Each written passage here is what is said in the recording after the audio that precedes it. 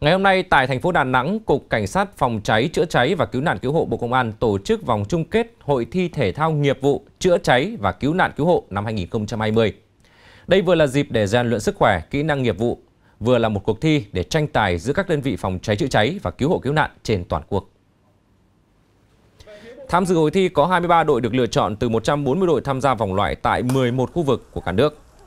Tại vòng chung kết, các đội tham gia tranh tài ở 3 nội dung gồm chạy 100m vượt chướng ngại vật, cứu nạn cứu hộ, chạy tiếp sức 4 x 100m cứu người và chữa cháy, đội hình máy bơm chữa cháy phun nước tiêu điểm.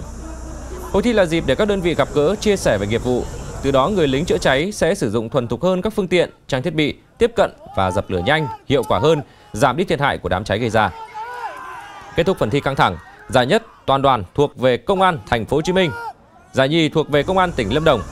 và giải ba được trao cho Công an tỉnh Bạc Liêu.